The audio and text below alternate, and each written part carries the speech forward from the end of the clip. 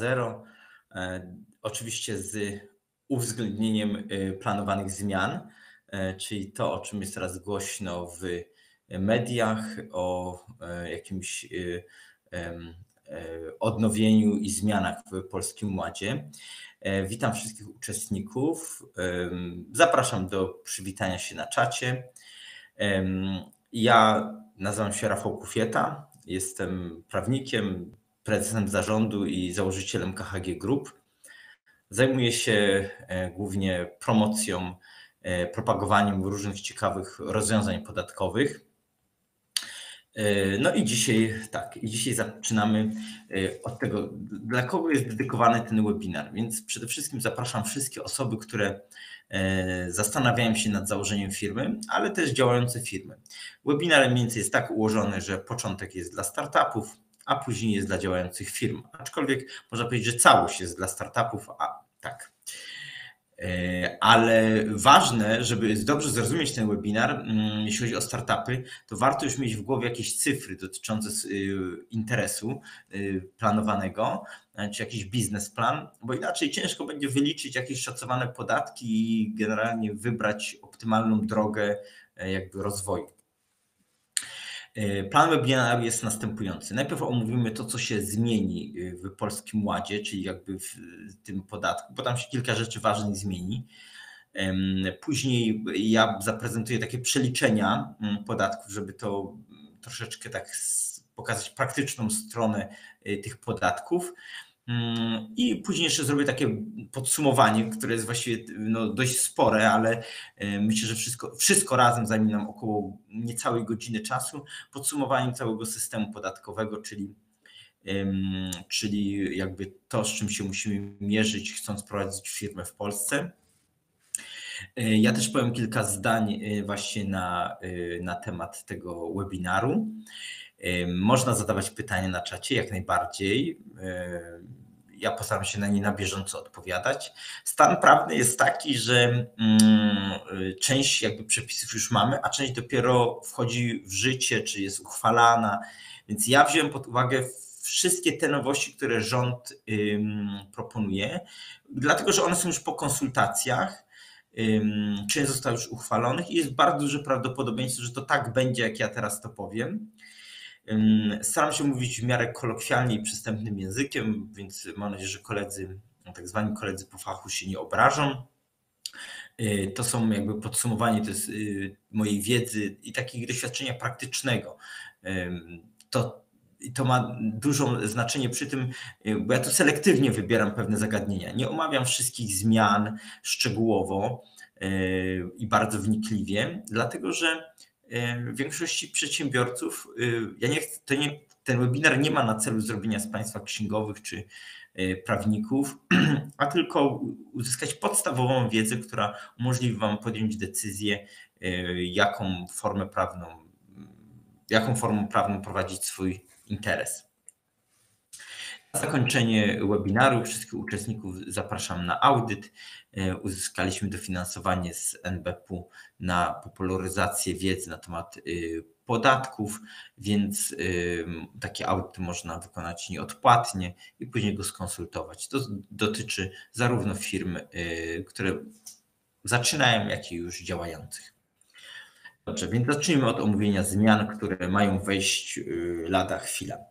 Podstawową zmianą, która troszeczkę wywróci te wszystkie działania, które robiliśmy na przestrzeni ostatniego roku, to jest zmiana pierwszego progu w skali. Mamy jedną z form opodatkowania, jest tak zwana skala. I ten pierwszy próg wynosił 17%, teraz ma wynosić 12%. Ale dla niewprawionych ja od razu dodam, że to nie jest efektywne opodatkowanie.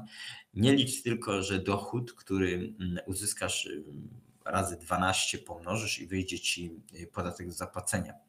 Dlatego, że trzeba do tego doliczyć jeszcze dość wysoką składkę zdrowotną w wysokości 9% y, i przede wszystkim składkę społeczną, czyli około 1200 zł. Y, I dopiero jeżeli mamy te dwie wartości, to dopiero możemy doliczyć właśnie podatek 12%. W największym skrócie trzeba dodać to, że y, zostaje dalej to, że próg, czyli te 12% liczymy od kwoty do 120 tysięcy, powyżej jest 32%. Stawka 32 pozostaje bez zmian. I trzeba pamiętać o tym, że to jest podatek dochodowy, bo ten podatek, ta, ten, ten podatek, 12% podatek dochodowy, staje się konkurencją wobec ryczałtów. O tym za chwilę, co to jest ryczałt. I y, to spowoduje, że dużo, a część osób, która dotychczas parła w stronę ryczałtu przez ostatni rok czasu, jednak zastanowi się nad powrotem do skali. Y, I tutaj trzeba pamiętać o tym. Ryczałt to jest podatek od przychodu, a ten podatek, o którym teraz mówimy, w skali to jest podatek od dochodu, czyli odliczamy koszty. Czyli on może być bardziej korzystny, na pewno raczej, zobaczymy w przeliczeniach, jak to wygląda, ale raczej będzie korzystny, jeśli mówimy o dochodach do 120 tysięcy rocznie, to raczej to będzie jeden z najtańszych podatków w Polsce. E, kolejne, kolejna zmiana, która wejdzie najprawdopodobniej od pierwszego, najmocniej przepraszam, kolejna zmiana to będzie ozusowanie prokurentów. W Nowym Ładzie i przed Nowym Ładem prokurenci, wynagrodzenie dla prokurentów wypłacanych w spółkach ZO czy w spółkach akcyjnych, prostej spółce akcyjnej nie było uzusowane. Dlatego chętnie y, powołano prokurentów, wypłacano im wynagrodzenie jako sposób na unikanie podwójnego opodatkowania. Prokurent dodatkowo też był taką figurą w spółce, która nie ponosi odpowiedzialności za prowadzenie działalności gospodarczej, więc był chętnie y, taki prokurent ustanawiany, nawet z kręgu rodziny. Niestety to się już zakończyło. Y, będzie ozusowany. Może po kolei. Więc tak, prokurent będzie płacił podatek według skali, ale już też według tego niższego progu 12% do 120 tysięcy. Musi doliczyć sobie składkę zdrowotną 9%, czyli tak de facto będzie płacił nie 12, a 21 albo 41% po przekroczeniu 120 tysięcy. Dalej y, nieozusowane pozostają już właściwie tylko y, umowy o dzieło, tylko zwracam uwagę, że płatnicy płatnicy muszą, płatnicy składek ZUS-owskich, czyli muszą zatrudnić choć innego pracownika, muszą dokonywać zgłoszeń o takich umowach o dzieło do e, e, ZUS-u. Osoby, które nie zatrudniają żadnych pracowników, a mają dużo umów o dzieło, takich umów o dzieło nie zgłaszają. To taka informacja. Jeszcze nieozusowane pozostaje wynagrodzenie członków, wynagrodzenie wspólników spółce ZO. To jest dalej nieozusowany sposób na unikanie podwójnego opodatkowania. Y, przy opodatkowaniu prokurentów należy pamiętać, że nie ma tam składki społecznej, czyli jest tylko 12% podatku dochodowego i 9% składki zdrowotnej. Nie ma tej bazy, którą płaci każdy przedsiębiorca, w zależności od tego, jak się rozlicza, ale może być to y, najczęściej jest to 1200 zł. I kolejna mm, bardzo ważna zmiana Y, to jest taka, że osoby, które w ferworze walki pod wpływem właśnie tych wszystkich informacji podjęły decyzję na początku tego roku o zmianie formy opodatkowania, na przykład przeszły z liniowego na ryczałt albo na jakąkolwiek, mo, będą mogły po wejściu w życie tych przepisów, czyli mm, w lipcu, Y, będą mogły zmienić swoją formę opodatkowania, czyli na przykład wrócić do skali podatkowej albo do podatku liniowego, y, albo zmienić się na ryczałt. Więc ja zachęcam wszystkim, tu się ustawodawca dość fair zachował, zachęcam wszystkich, którzy mm, zmieniali formę opodatkowania, do przeliczenia sobie, y, czy ten podatek, który wybrali na początku roku, będzie, będzie dla nich korzystny. I sugerowałbym skorzystanie z kalkulatorów, e, których na razie na rynku brak. Bo jeszcze przygotowując się do tego webinaru, e, próbowałem takie kalkulatory znaleźć i ja nie znalazłem. Jeżeli ktoś znalazł, będę wdzięczny za podesłanie linku, ale na razie takich kalkulatorów nie ma. Wszystkie kalkulatory bazują jeszcze na starych przepisach, na starych, na starych przepisach y, Nowego Ładu, czyli tam, gdzie stawka jest 12%, 17% y, zamiast 12% w skali. I właściwie, jeżeli chodzi o zmiany, to według mnie dla przedsiębiorców to są najważniejsze i najbardziej istotne zmiany.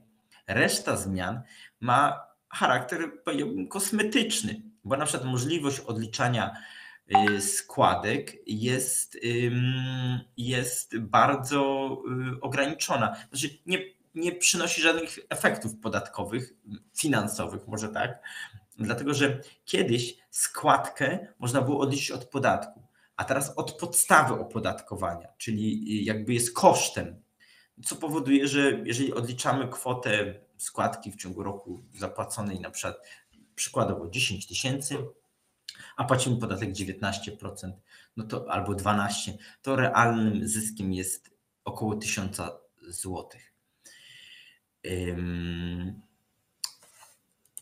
Dobrze, teraz tak. Y, a, dziękuję za tego linka. Y, jest płatny ten kalkulator, rozumiem. Y, wiecie Państwo, my ja często korzystam z kalkulatorów, mm, żeby przeliczyć właśnie podatki i bardzo dużo kalkulatorów ma błędy. Aczkolwiek też tak, tak, więc, ale pewnie go przetestujemy. Dobrze, teraz przeliczenia. Ja porównałem y, cztery rodzaje podatków. Mm, to jak Państwo macie napisane u góry, mamy przychód, y, to jest, to jest przychód miesięczny, koszty też są miesięczne, a obciążenia podatkowe są roczne. Dlatego, że mm, na przykład jest kwota wolna od podatku, no to y, ona jest liczona w skali roku, więc dlatego przyjąłem. I przyjmując pierwszy taki wariant, będą trzy warianty. Y, y, generalnie dochodów takich, które są powiązane z niskim kosztem. Czyli mamy tu 5000 przychodu i koszt 1000 zł. Wygrywa skala podatkowa. Jeżeli byśmy ten dochód zwiększyli dwa razy, a koszty zostałyby na tym samym poziomie, czyli 10 tysięcy przychodu i koszty 1000 zł, to wygrywa IP Box. Tylko y, IP Box jest do zastosowania tylko w ograniczonej ilości podmiotów. Jesteś informatykiem albo prowadzi działania jakieś naukowe, zakończone jakimiś tam patentami, to, to możesz skorzystać. O tym też powiem troszeczkę później. Ale gdyby nie ten IP Box, to y, byśmy się wahali na poziomie wyboru skali albo ryczałtu.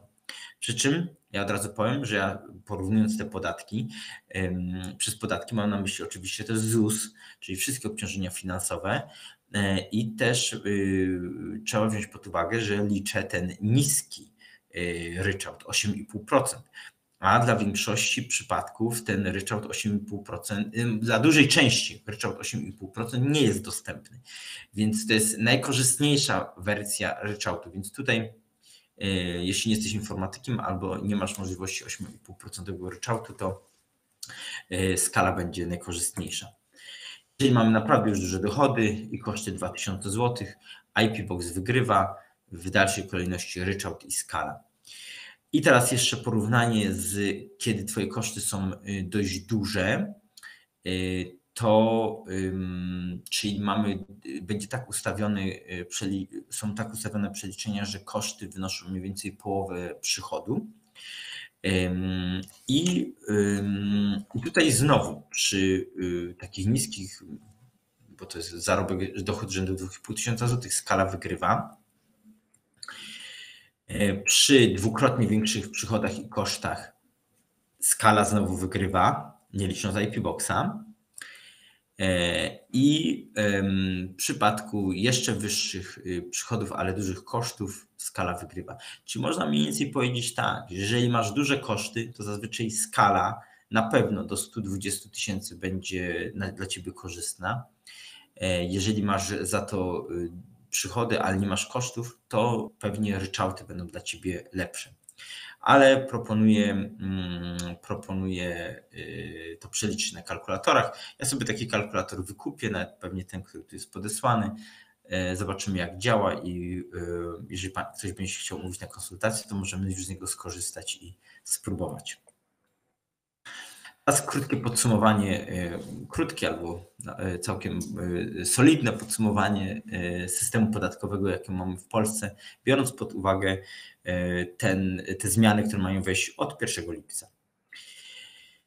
Trzeba powiedzieć, że tak, działalność nierejestrowana dla startupów dalej zostaje, czyli czyli jest to taka działalność, której nie trzeba nigdzie zgłaszać, nie płacimy ZUS-u, płacimy podatek dochodowy 12%, trzeba pilnować, żeby miesięczne przychody nie przekroczyły 1500 zł i można nie płacić podatku VAT, nie być VAT-owcem, co może mieć duże znaczenie w niektórych przypadkach.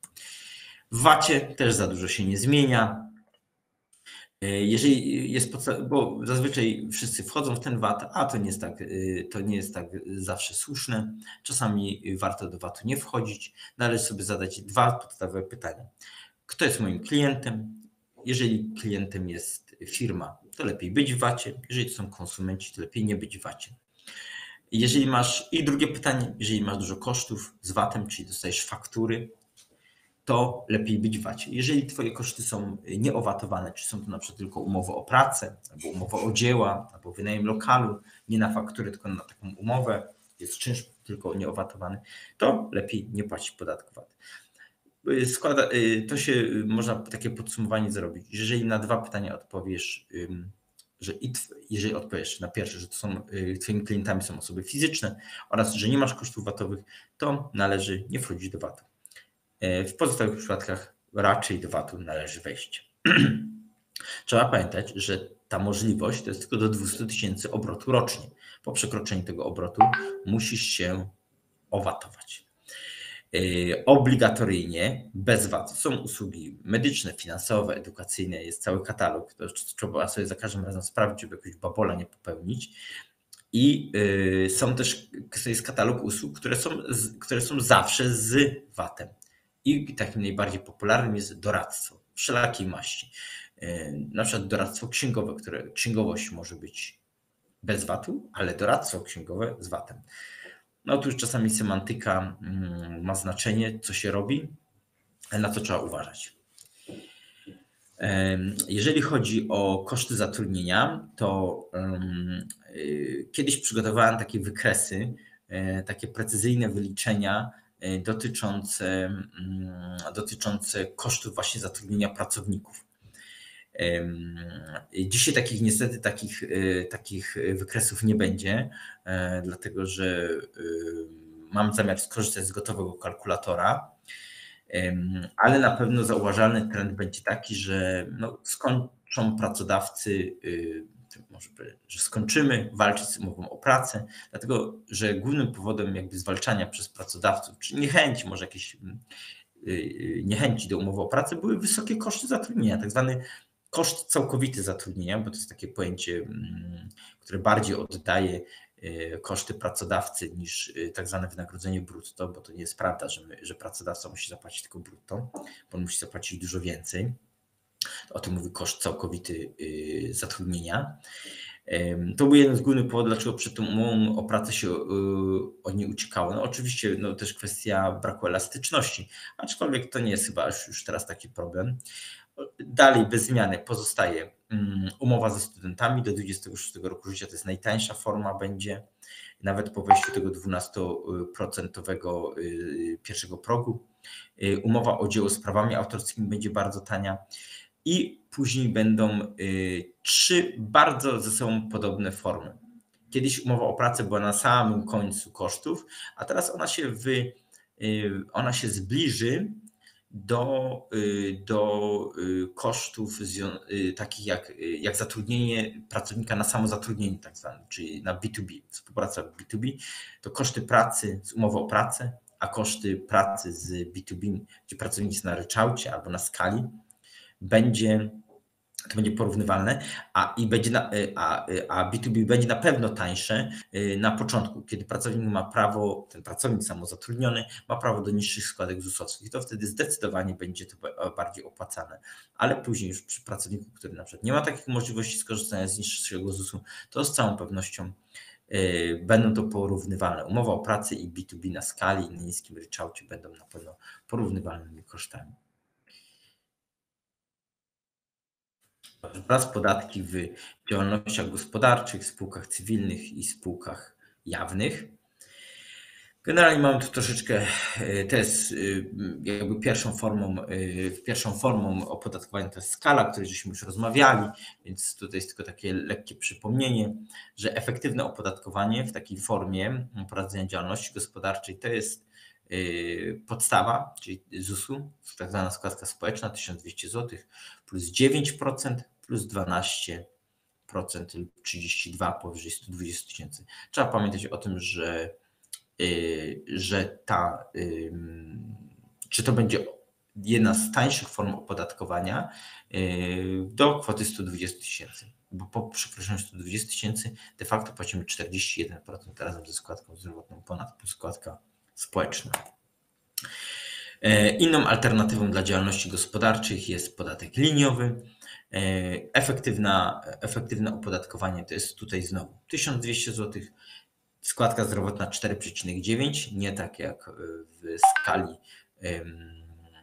9%, no i podatek 19%, ale nie ma progu. Więc pewnie przy y, wyższych dochodach, przekraczających 120 tysięcy, ta forma opodatkowania może być korzystniejsza. I mam jeszcze ryczałt. I ryczałt myślę, że będzie dalej popularny, ale głównie w, jeżeli uda się znaleźć opodatkowanie na poziomie 8,5%, 8,5%, przepraszam. E, efektywne opodatkowanie, trzeba znowu pamiętać, że jest składka społeczna, około 1200 zł, później jest składka zdrowotna, która wynosi od 300 do 1000 zł, w zależności od tego, ile się zarabia, jaki się ma przychód, im mniejszy, to, im większy to ta składka wzrasta. I później sama kwota, y, stawka podatku. Y, nie ma tutaj kwoty wolnej od podatku.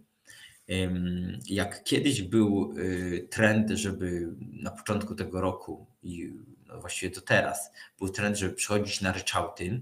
Wszyscy szukali y, ryczałtu, żeby uciec z innych form opodatkowania.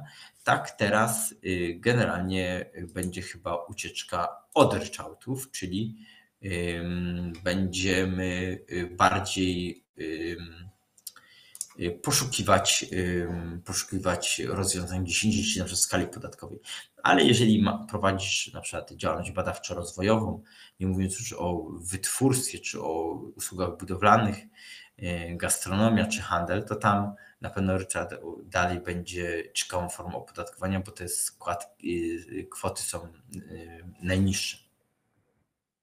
Tu jest przykładowe zestawienie. Ja tu nie wyliczałem y, w tym webinarze wszystkich możliwości ryczałtów. Y, to możemy załatwić na konsultację, bo tego jest bardzo dużo i szkoda byłoby Państwa zanudzić. To są 8,5% ryczałty związane z szeroko pojętą działalnością IT, tak bym to powiedział. Y, więc tak, takie są ryczałty, te 8,5%. E, pozostają dalej bez zmian podatki dla firm technologicznych, czyli przede wszystkim IP Box. Dla tych, którzy nie są zorientowani, to y, podatek IP Box e, to jest podatek dochodowy, czyli tak nie od przychodu, tylko od dochodu, który y, można opodatkować swoje dochody z tytułu, z różnych tytułów związanych z patentem, wzorem użytkowym, przemysłowym, produktem leczniczym, weterynaryjnym, ochroną roślin, przede wszystkim u nas najbardziej popularny to jest autorskim prawem do programu komputerowego, czyli na przykład freelancerzy, software house'y y, mogą z tego podatku skorzystać. Działa on więcej w ten sposób, nie tylko mm, działa w ten sposób, że e, jeżeli jesteśmy podatnikiem podatku CIT, czyli, y, czyli na przykład spółką ZO, i płacimy 9 lub 19%, to po zastosowaniu IPBoxa możemy płacić 5%, a jeżeli jesteśmy jednoosobową działalnością gospodarczą, to e, zamiast podatku 19 plus 4,9 e, plus 1200 zł możemy płacić około 10% plus ta składka e, zdrowotna, mm, społeczna, czyli no o 10%, o 14% mniej niż inni śmiertelnicy, którzy nie mogą z tego IPBoxa skorzystać. E, dalej pozostaje ulga badawczo-rozwojowa. E, ja tutaj po, po ostatnim webinarze miałem dużo pytań dotyczących, a właściwie co to jest y, działalność badawcza i działalność rozwojowa. E, to w kolejnym slajdzie będzie, a tymczasem proszę pamiętać o tym, że jeżeli zatrudniacie kogoś, kto prowadzi dla Was tą działalność badawczą rozwojową lub badawczo-rozwojową, bo to nie trzeba prowadzić i tej, i tej, wystarczy rozwojową, tą łatwiejszą, to takie wynagrodzenie dla tego pracownika będzie trzy razy kosztem. Raz normalnie, jak się je płaci, płaci się wynagrodzenie, a później drugi, trzeci raz na koniec roku wraz ze składanym e, deklaracją podatkową, się wypełni taką deklarację PIT lub CIT-BR i tam się te koszty uwzględnia. To jest taki przykład zastosowania ulgi badawczo-rozwojowej. E, jeżeli pracownik, którego zatrudniamy, zarabia 5 tysięcy na rękę, to jest około 6,5 tysiąca brutto i płacimy 19% podatek, to nasz zysk wynosi około połowy kwoty, którą wypłacamy pracownikowi na rękę. To tak łatwo sobie policzyć, że jeżeli płacimy mu 10 tysięcy, to zyskamy miesięcznie około 5 tysięcy złotych. No to jest dość, to jest daleko idąca ulga e, podatkowa dla firm, które prowadzą działalność badawczą lub rozwojową. Działalność rozwojowa to jest definicja działalności badawczej i działalności rozwojowej. Proszę zwrócić na tą, na tą definicję uwagę. Prace rozwojowe, one wykorzystują dostępną wiedzę. To nie jest wiedza, która ma być nabyta, nowa, wytworzona. To jest już istniejąca wiedza i to nawet wiedza, która, mm, tak to jest interpretowane, nawet wiedza, która nie jest w posiadaniu danego zakładu pracy. Czyli jeżeli to jest powszechnie znana wiedza i my ją wykorzystujemy, ale nie jest stosowana u nas, to możemy z tej ulgi skorzystać. Jeżeli y, w wyniku wykorzystania tej, tej już znanej wiedzy yy, tworzymy nowe albo ulepszamy produkty czy usługi, to takie działania czy wynagrodzenie osób, które to robią w naszej firmie, będą podlegały pod tą ulgę badawczo-rozwojową. Inaczej jest troszeczkę z działalnością naukową. Yy, tutaj musi to być jeden z którychś yy, konkretnie rodzajów badań, czy to będzie badania podstawowe, stosowane, czy przemysłowe. I one już polegają na zdobyciu nowej wiedzy, takiej unikatowej. Więc tu troszeczkę przy działalności naukowej jest to węższe grono specjalistów, którzy mogą zastosować tę ulgę. Jest jeszcze Centrum Badawczo-Rozwojowe, to jest taką nakładką na ulgę badawczo-rozwojową. E, pozwala e, koszty e, związane z pracą tego centrum rozliczać trzy razy w kosztach. Dodatkowo nie płaci się można ująć jakby w tych kosztach odpisy amortyzacyjne od budynków i lokali. Y, mm, jest szersza możliwość kosztów, które są jakby uznane za tą działalność badawczo-rozwojową i dodatkowo nie płaci podatku od nieruchomości. I teraz y, generalnie problem, który, y, z którym się nurtują wszystkie osoby, które chcą prowadzić działalność gospodarczą w formie spółek ZO lub innych spółek kapitałowych, na przykład prostej spółki akcyjnej albo E, spółki ZO, prostej spółki akcyjnej. To jest podwójne opodatkowanie. Generalnie mm, zmienia się o tyle, że, że do właściwie tej burzy, no, burzy szumu medialnego na temat zmiany Polskiego Ładu, tego Ładu 2.0, yy, próbowano omijać podwójne opodatkowanie poprzez wynagrodzenia prokurentów, własną działalność gospodarczą, różne rzeczy i nie brano pod uwagę skali podatkowej. No teraz będzie brano pod uwagę, bo skala podatkowa okazuje się być y, dość tanim formą opodatkowania. Dobrze, jak to z tym podwójnym opodatkowaniem jest? No, generalnie y, płacicie co do zasady 9% CIT, albo jeżeli się przekracza 2 miliony obrotu rocznie, no to jest 19% CIT. Jeżeli się jest po aporcie albo przekształceniu naszej działalności gospodarczej w spółkę ZO, to ym, się płaci 19%, więc zanim przekształcicie swoją działalność gospodarczą w spółkę ZO, zastanówcie się, czy Wam ten wariant 19% odpowiada. Podwójne opodatkowanie polega na tym, że najpierw podatek płaci spółka, ten CIT 9 lub 19%, a później ten, który otrzymał te pieniądze, jakiś wspólnik, też płaci 19%. I tych podatków nie należy sumować, bo nie wyjdzie nam dokładnie ten podatek.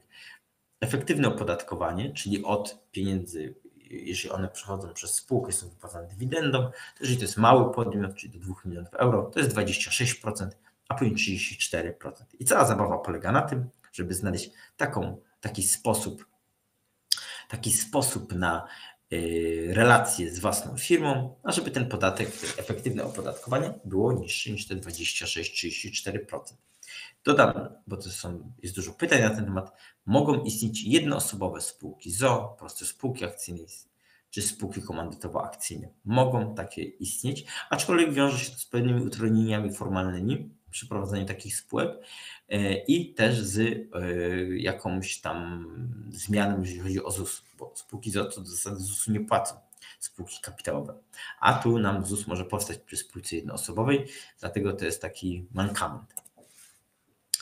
E, trzeba pamiętać, że od przyszłego roku wchodzą nam przepisy o ukrytej dywidendzie i mm, generalnie, jeżeli się przypatrzymy temu, co to jest dokładnie, to moje największe zaniepokojenie bierze, jest związane z tym przepisem Yy, to jest na samym dole, czyli koszty obejmujące wynagrodzenie za prawo do korzystania z aktywów, które stanowiły własność wspólnika przed utworzeniem podatnika. Czyli na przykład yy, było tak, że yy, wynajem, wspólnik miał lokal i wynaj- albo jakieś na przykład środki transportu i wynajmował je do spółki ZO. I już to było po cenach rynkowych. No, może być kwestionowane i określane jako ukryta dywidenda, z czymś, co się może wiązać z tym, że będziemy mieli od tego, będziemy musieli zapłacić podatek jako dywidendy. Więc y, wszystkiego tego typu, wszystkie transakcje pomiędzy spółką a wspólnikami są na celowniku. Są różne, były różne formy i są do dzisiaj unikania tego podwójnego opodatkowania. Zazwyczaj takim najbardziej, jednym z popularniejszych przy małych firmach jest to, że mamy powiązanie pomiędzy klienta a naszą działalność gospodarczą wkładamy spółkę ZO i dzięki temu mamy i bezpieczeństwo przede wszystkim transakcji, bo jak prywatnie nie odpowiadamy własnym majątkiem i dodatkowo mamy niski podatek, bo jakby patrzymy się na tego ostatniego beneficjenta na tę działalność gospodarczą, jaki ona ma podatek, bo taki będzie rzeczywisty podatek i w cudzysłowie jeden jakby dla całej organizacji, dla całej grupy. Inną formą, najbardziej wskazaną unikania radzenia sobie z podwójnym opodatkowaniem jest estoński CIT. W estońskim CIT-ie po, nie ma planowanych zmian y, w tym roku i po, jakby po nowym ładzie. Dalej to dalej nie płaci się podatku dochodowego, jeżeli E, pieniądze zostają w firmie, jeśli nie, nie ma wypłaty dywidendy i nie, nie wypłaca tak zwanej ukrytej dywidendy. E, warunki wejścia do estońskiego CIT też pozostały bez zmian, czyli należy mieć prostą, prostą strukturę kapitałową. Ten, ta spółka ZO nie może płacić podatku, nie może mieć udziału w innych spółkach. I tak samo udziałowcami mogą być tylko osoby w tej spółce podatniku tego estońskiego CIT mogą być tylko osoby fizyczne. Mogą być, mieć trzech pracowników, e, ale tutaj nie jest to wymagane, jeżeli to jest na przykład nowy podmiot i liczą się te zleceniobiorcy. Tak czy siak muszą być te osoby, czy to będzie umowa o pracy, czy zlecenia niepowiązane osobowo i kapitałowo z firmą. Jeżeli ktoś już zapragnie wypłacić dywidendę, to efektywne opodatkowanie e, wynosi 20 lub 20%. No jeżeli to sobie Państwo zestawicie z e, wcześniejszą informacją o efektywnym opodatkowaniu przy niestosowaniu estońskiego CIT-u, e, gdzie mieliśmy 26-34%, no to jest to niższe o 15, od 15 do 10%, więc estoński CIT jest korzystny, ale w, wypadku estońskiego CIT wyjątkowo należy mieć na, pod lupą wszystkie transakcje pomiędzy spółką a wspólnikami, dlatego że może tam zachodzić taka rozszerzona dywidenda. Jeszcze większa ilość operacji jest na cenzurowanym. Jakimś rozwiązaniem y, y, podwójnego opodatkowania jest spółka komandytowo-akcyjna. Niestety y, są plusy i minusy, więc plusem na pewno jest tak, że w spółce komandytowej akcyjnej nie ma ZUS-u. Nie płaci ZUS. Wspólnicy nie płacą podatku, nie płacą składek, w skrócie podatku ZUS. E, efektywne opodatkowanie, w zależności czy to jest mały czy duży podatnik, to jest około 17-19%, czyli jak Państwo widzicie, tanie pieniądze ale jest jedna zasadnicza minus. Komplementariusze, czy taki zarząd, czyli przynajmniej jedna osoba w spółce ponosi pełną odpowiedzialność za długi spółki. E, I taka ciekawostka, e, spółka komandytowo-akcyjna może być jednoosobowa też. E, w przypadku świadczenia usług można tą główną wadę spółki komandytowo-akcyjnej, jaką jest brak y, tej tarczy bezpieczeństwa, wyeliminować, wkładając pomiędzy klienta a spółkę komandytowo-akcyjną naszą tarczę, naszą spółkę ZO, wtedy efektywne opodatkowanie będzie na poziomie tak spółce komandowo-akcyjnej, czyli 17-19%, a uzyskamy to, co na czym nam zależy, o ile na tym zależy, czyli bezpieczeństwo w transakcji. Ciekawym rozwiązaniem, które jest dość mocno, dość mocno mm, reklamowane, tak nazwijmy, jest mm, Polska Strefa Inwestycji. Ona zastąpiła specjalne strefy ekonomiczne. Specjalne strefy ekonomiczne są, e, są likwidowane. Cała Polska ma być jakby taką strefą inwestycji. E, I w zależności od tego, gdzie, y, czyli można nawet we Wrocławiu to zlokalizować, aczkolwiek nie będzie to zbytnio opłacalne, dlatego że e, im mniejsza firma, im wyższy poziom bezrobocia w gminie i, i przy wyborze jeszcze konkretnych lokalizacji i dodatkowo spełniając pewne kryteria jakościowe i ilościowe, czy na przykład jakieś tam zaangażowanie, y, można uzyskać wyższy poziom tych benefitów. E, ja tutaj przygotowałem taki przykład, z, żeby na jaskrawym mm, przykładzie przedstawić zyski. Jeżeli weźmiemy y, nową inwestycję, która zostanie zlokalizowana w województwie podkarpackim, dlatego że wschodnie województwa mają te współczynniki bardzo wysokie, tam w ogóle jest bardzo dużo dotacji na rozpoczęcie, na internacjonalizację, na targi, na rozwój, jest dużo dotacji to y, biorąc pod uwagę tylko ten milion y, włożony w inwestycje, to kwota mm, podatku, który zostanie nam zredukowany, to aż 600 tysięcy, czy aż do 3 milionów 200 tysięcy y, zysku nie będziemy płacić żadnego podatku. Tyle się zaoszczędzi, mniej więcej po, ponad połowę wartości inwestycji. Aczkolwiek jest to przykład jeden z najbardziej Y, korzystnych. W Dolnośląskim województwie on będzie mniej korzystny. Jeszcze dodatkowo polskie strefy inwestycji można łączyć z IP Boxem. Dlatego jeżeli firma, która zajmuje się y, IT i może skorzystać z IP Boxa i może dokonać inwestycji, co jest kluczowe, y, w środki trwałe, budynek, to będzie odnosiła dodatkowe korzyści, bo nie dość, że skorzysta z IP Boxa, czyli już będzie na dzień dobry płacił niższy podatek, więc ten zysk, który będzie nieopodatkowany, będzie czterokrotnie wyższy niż na przykład w przykładzie poprzednim. Gdyby to była firma informatyczna, to nie zyskałaby 600 tysięcy e, zyskałaby też 600 tysięcy podatku, ale w związku z tym, że płaci niższą stopę podatku, to nieopodatkowany e, zysk byłby o wiele wyższy. Dziękuję Państwu za uwagę. Jak obiecałem, że przed godziną się skończymy. Osoby, które chciałyby skorzystać z audytu, e, proszę napisać do mnie maila. Ja odeślę ankietę, wypełnić ją Państwo i możemy się umawiać na konsultacje. Konsultacje też takie stałe mam jutro. Można się przez Incuba zapisywać na audyt, można bezpośrednio u mnie. Zapraszam do e, zapisania się na nasz newsletter. E, wszystkie takie nowinki podatkowe związane z technologicznymi firmami publikujemy na www.ipbox.tech.pl. Dziękuję za uwagę. Tu są moje dane kontaktowe. Jeżeli ktoś ma ochotę napisać do mnie lub zadzwonić, zapraszam. Oddaję głos do studia.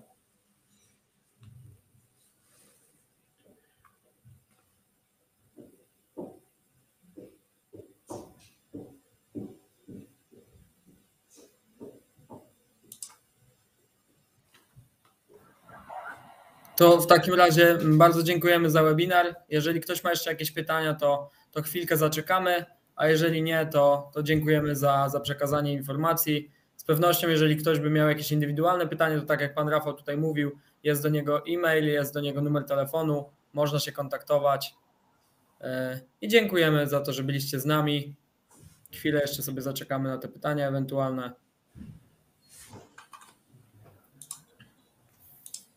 Ja widzę na, na mail już pierwsze pytanie. O, proszę. Także, także indywidualnie to wszystko, jak widać, działa. Zatem dziękujemy bardzo i do usłyszenia ponownie za jakiś czas. Do usłyszenia. Do widzenia.